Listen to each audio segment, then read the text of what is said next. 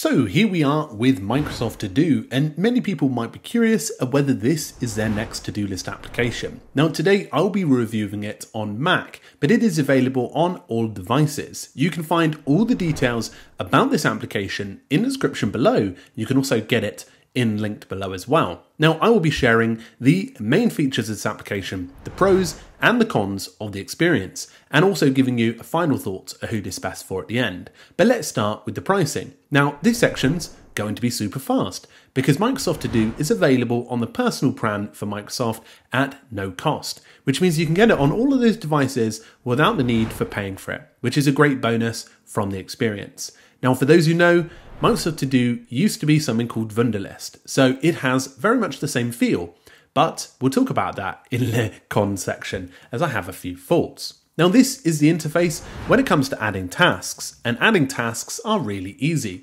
Now, within each task, there are subtasks, and they're not called subtasks, they're called steps. So you could have steps like this that can be added to each of your tasks. You can promote them to a task, but you can complete them as well, as if they were little items. Now, this is an area called My Day, and My Day essentially is the today area for your task management application.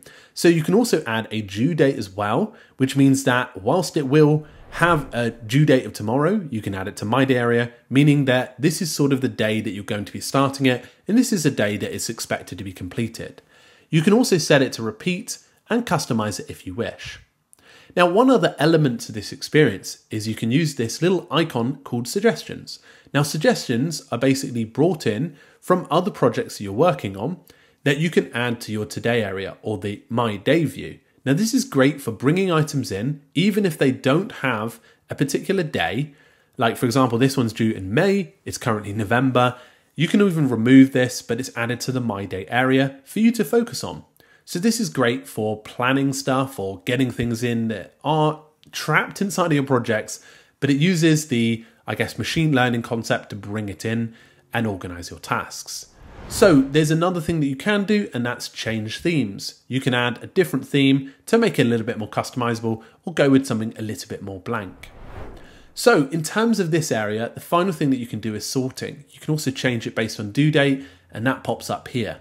Now you can change it based on uh, ascending or descending and remove that as you wish.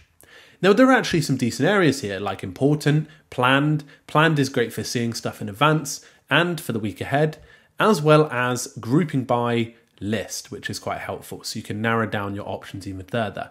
You can even see an area called all and assign to me as well. Now, if you're somebody that uses Microsoft Outlook, you can go to flagged emails, and any email that is flagged here will bring in an Outlook uh, email, which is very helpful, with the uh, deep link so you can go straight to it. Now, this is a tasks area for you to see all of your tasks, which is helpful. And down here, I have a project called Tasks with Bob. Now, I have invited somebody to this one, so you can go ahead and press invite and stop sharing at any time. And anyone with a Microsoft account can edit this uh, experience, which is very helpful. You can rename it at any given time, and you can even change the theme, do the sorting, and that person will see it on the other end. But this is good because if I add a task, then it can naturally be assigned to somebody else. In this case, it's being assigned to me because I haven't shared it, and I can do all the regular stuff that I'd expect inside this application. Now, there is an ability to add files and notes at the bottom here, which is a helpful addition. Now, naturally, this is really all the experience can do, apart from make a new list, which doesn't have to be shared, or you can go down here and make a new group. So in this case, a group is essentially a folder in which you can drag different projects in. You can see that this is helpful for just organizing what's ahead. Now you can change some of the preferencing up here. You can even change what lists appear. So for example, if you want a little bit slimmer uh, right left-hand panel, then that's something you can do. You can also connect up to Microsoft Planner if you did want to. There are a few other additional abilities here too. So this will sync with the mobile devices, works well on Windows as well, and is really simple as an experience. The pros of this application have to be very simply that the free experience makes it a really uh, good setup. It works with other Microsoft projects, and I like this suggestions feature. It sometimes works very well and other times not so well, but it is a nice addition to have as part of your experience to bring in tasks.